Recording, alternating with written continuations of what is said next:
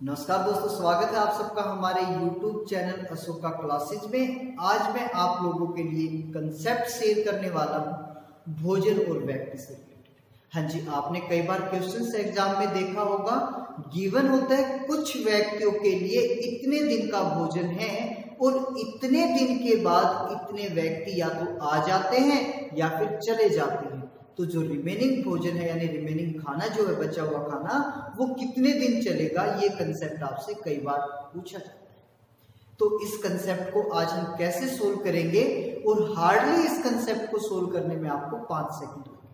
हाँ जी, पाँच सेकंड में इस क्वेश्चन को आप कैसे सोल्व करेंगे तो चलिए देखते हैं एग्जाम्पल्स लेके और सोल्व करते हैं कैसे। तो क्वेश्चंस जैसा आपको गिवन है क्वेश्चंस में जैसा इसने बताया 100 व्यक्तियों के लिए 80 दिन का भोजन अवेलेबल है। 100 व्यक्तियों के लिए 80 दिन का भोजन अवेलेबल है। 35 दिन के बाद 40 व्यक्ति चले गए। शेष भोजन कितने दिन चलेगा? ये जानना चाहता है 35 दिन के बाद जो 40 व्यक्ति चले गए अब भोजन कितने दिन चलेगा, यानी राशन जो है उनका वो कितने दिन तक चलेगा? तो देखिए, जैसा कि आपको पता है 100 व्यक्तियों के लिए भोजन जो अवेलेबल है 80 दिन का। अब इसने कहा 35 दिन बाद, यानी 80 में से अगर 35 दिन की बात की जाए, पैंतीस दिन बाद व्यक्ति चले गए चालीस। अब अगर यहाँ पे सोचने वाली बात है, पैंतीस दिन तक तो भोजन सौ व्यक्तियों ने किया है। अब सौ व्यक्तियों ने भोजन किया पैंतीस दिन तो रिमेनिंग कितना? फोर्टी फाइव डेज़ अभी जो राशन बचा हुआ है, खाना जो बचा हुआ है फोर्टी फाइव डेज़ का। कितने व्यक्तियों के लिए ये सौ व्यक्ति? अभी हम 40 की बात नहीं करेंगे अगर 35 दिन तक 100 व्यक्तियों ने खाना खाया है तो 45 दिन का खाना अभी भी शेष है 100 व्यक्ति। अब यहाँ से क्वेश्चन थोड़ा सा टर्न करता है। इसने कहा 40 व्यक्ति अब चले गए। टोटल कितने? 100 100 में से अगर 40 चले जाएँगे तो बचेंगे कितने? 60 और अब ये जानना चाहता है, ये साठ व्यक्तियों के लिए ये राशन कितने दिन चलेगा, ये खाना कितने दिन चलेगा? तो अब आपको पता है, जिस खाने को 100 व्यक्ति 45 दिन में खाते हैं तो 60 व्यक्ति तो उस खाने को और ज़्यादा दिन चलेगा उनके लिए यानी 100 व्यक्तियों के लिए खाना है 45 दिन का। साठ व्यक्ति अगर इसी खाने को खाएँगे तो ज़्यादा दिन चलेगा, यानी into hundred divide by sixty और जब यहाँ से आप कैंसिल करेंगे फिफ्टीन थ्री जा फिफ्टीन से फोर यानी आपका चलेगा सेवेंटी फाइव डेज़ क्या बताया? अगर खाना सौ व्यक्ति पैंतालीस दिन में खाएँगे, उसी खाने को साठ व्यक्ति पिछहत्तर दिन में खाएँगे तो इस टाइप के क्वेश्चंस को आप ऐसे सोल्व करें। एक और एग्जांपल लेके अब हम देख लेते हैं इस क्वेश्चंस को, कैसे सोल्व करें। अब क्वेश्चंस में गिवन है आपको 200 व्यक्तियों के लिए 36 दिन का भोजन अवेलेबल क्या बताया? 200 व्यक्तियों के लिए 36 दिन का भोजन अवेलेबल है। 16 दिन के बाद 140 व्यक्ति चले गए। क्या बताया इसने? 200 व्यक्ति भोजन को कर सकते हैं। 36 दिन और 16 दिन के बाद 140 व्यक्ति चले गए। अब ये जानना चाहता है, शेष व्यक्ति इस भोजन को कितने दिन चलाएँगे या कितने दिन तक ये राशन को खाएँगे? तो जैसा कि क्वेश्चंस में इसने बताया 200 व्यक्तियों के लिए भोजन अवेलेबल है। 36 दिन का।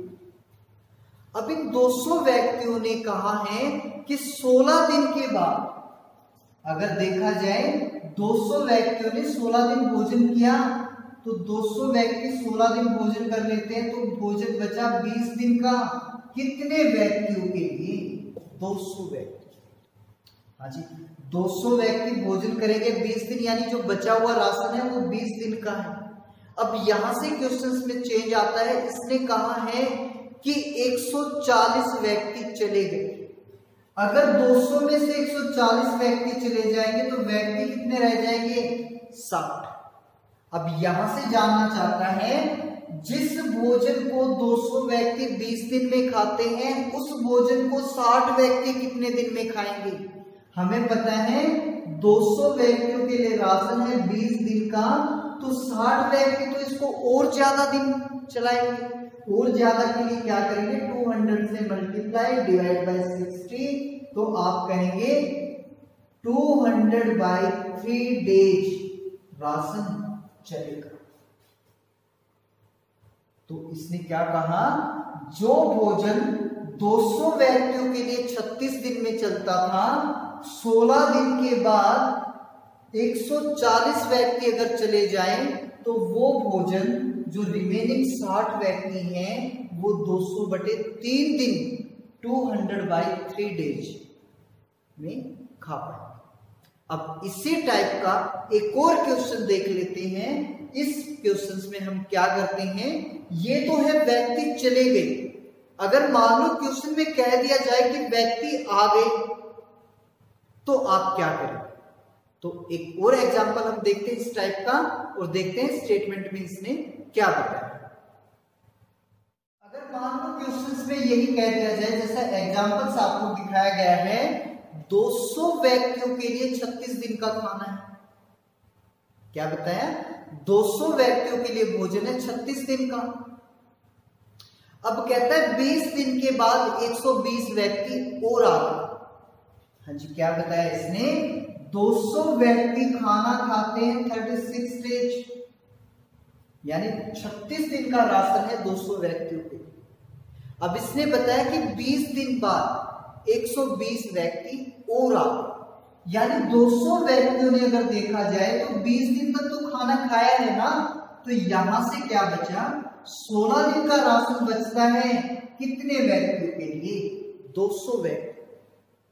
16 दिन का राशन है 200 व्यक्तियों के लिए। अब यहाँ पे क्या हुआ? 120 व्यक्ति आ गए।